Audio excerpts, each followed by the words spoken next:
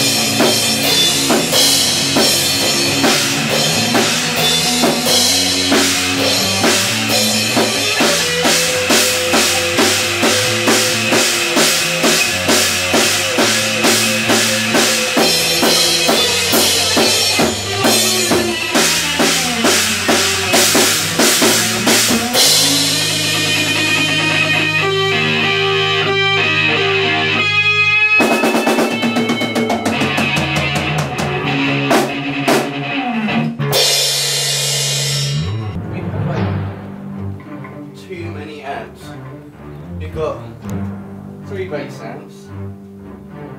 One. No, we've got four bass amps. One, two, three. Four.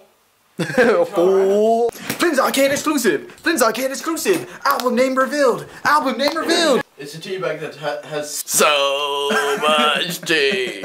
So So much much tea. so much tea. So much tea. So much tea. So much tea.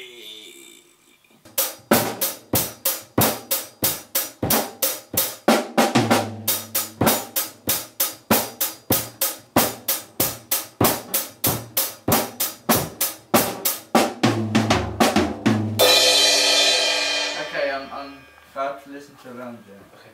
This is the first time Charles has listened to music in 20 years. Oh,